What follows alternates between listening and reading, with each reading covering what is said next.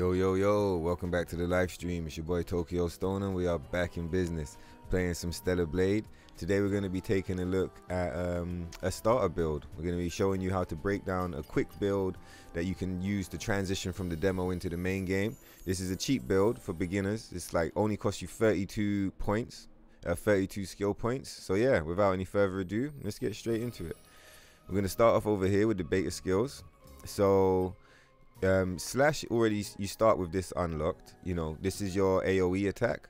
I would recommend if you're tight on points you haven't got that many go with the damage boost and then focus on getting your level 2 attack your crescent slash which upgrades it so you get two hits out of it. This is a massive massive upgrade for the attack. And so like definitely just rush down to get the level 2 if you prefer the shield damage boost or the the beta energy recharge by all means grab those. I like damage so i think yeah if i had to pick i'd go with slash damage, and then a level 2 attack. Over here, you got your focus attack. So here again, the same thing. I've gone with uh, extra damage and then the level 2 attack. Then over here, shockwave. Again, the same thing. Damage boost with the level 2 upgrade. Now, for all of these ones, you see the one that's missing is the beta recharge. Obviously, you got your shield damage, but if you if you got a few extra points, by all means get the beta recharge. I think it's a great. It, it really does buff out, you know, make the skill a bit better. Every time you use it, you get one little square back. You don't get a full set, but you get one little square. I think that's better than nothing. So jumping down to the shield breaker, uh, I haven't gone for the full upgrade because I feel that's quite expensive. So as this is a starter guide, we're going to keep it, you know, nice and light. So yeah, shield breaker plus the shield damage boost. If you upgrade the beta skills in this way, you end up with a strong AoE, yeah, that's got boosted damage and a level two and a, and a second hit. You've got your focused attack, which gives you again damage boost and a second hit, and then you've got your range, yeah, nice ranged attack with a damage boost as well to go with it.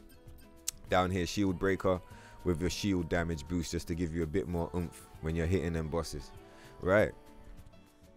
On this skill tree now, I've left the ambush, the stealth attack, but you by all means you could grab that because you know stealth is one hit kills. Um, you know if you're low on skill points, one hit kills is probably you know something you're into. So check that out.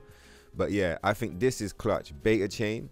You have to get beta energy recharge one to unlock beta chain, but I think that this is probably one of the most useful and perhaps even like one of the best skills in the whole game um, obviously, there's other skills that give you a lot more utility in different situations. But like as far as just fun, um, helping you through some of the trickier enemies like the crabs with the shield and stuff like that. This is just, and it helps you learn the combos as well. Because like to use this technique properly, you have to kind of pick a few combos you know. Um, basically, you're just holding triangle on the last hit. So the easiest example would be here, where it's triangle, triangle, triangle for the combo. You would go triangle, triangle, hold, triangle for the third hit. You with me? Or if you go down here, it'll be triangle, square, triangle, square, hold triangle for the last hit. So yeah, I can't recommend Beta Chain enough. It's a super OP um, skill. I really enjoy it. This is also like non-negotiable. Lightning Rush and Infinite Rush.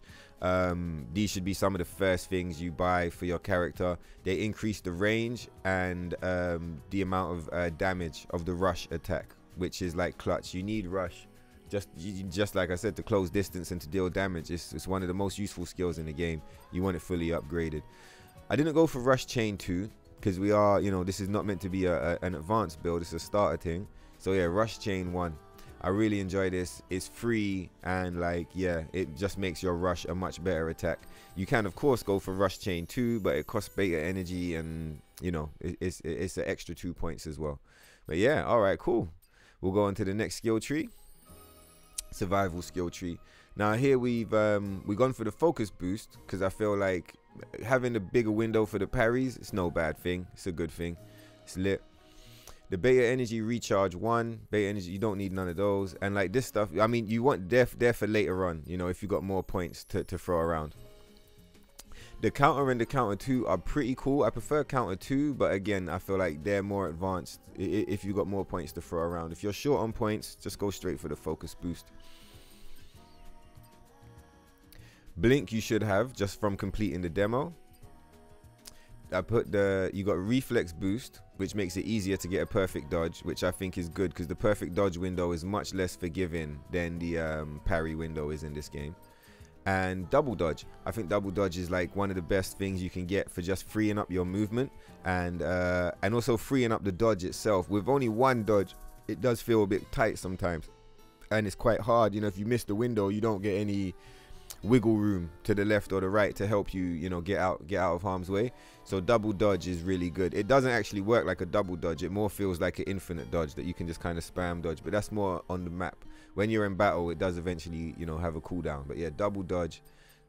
So yeah that that runs it. So we're going to run through it back again just to, to, to recap. So slash extra damage level 2 slash. Triplet extra damage level 2 triplet Shockwave, extra damage, level 2 um, crosswave. Shield breaker with extra shield damage. You want some beta energy recharge with this beta chain technique. Infinite, um, infinite rush and lightning rush. Rush chain 1. You want focus boost. Reflex boost. Double dodge. And yeah, that's the full set.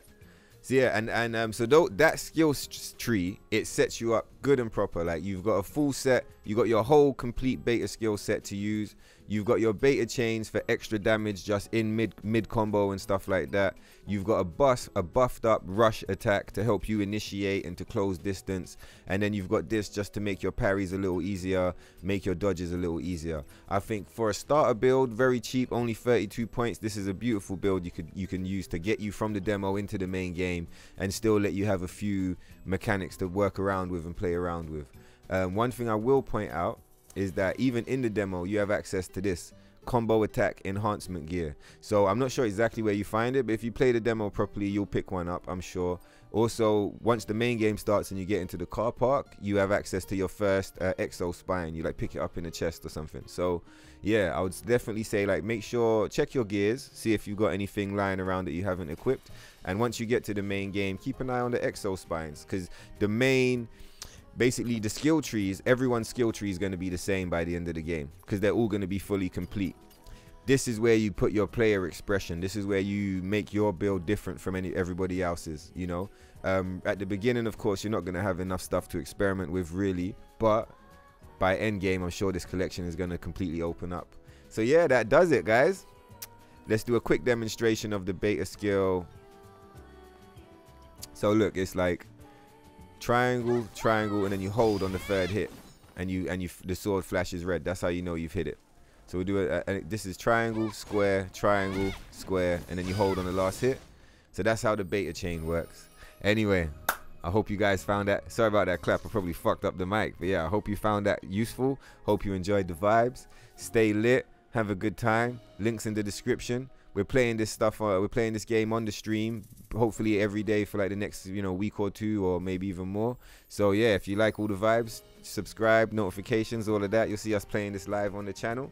Um, i hope you're enjoying the game. And yeah i hope this build this starter build was useful to you. Anyway you lot take care and i'll catch you lot in the next one. Peace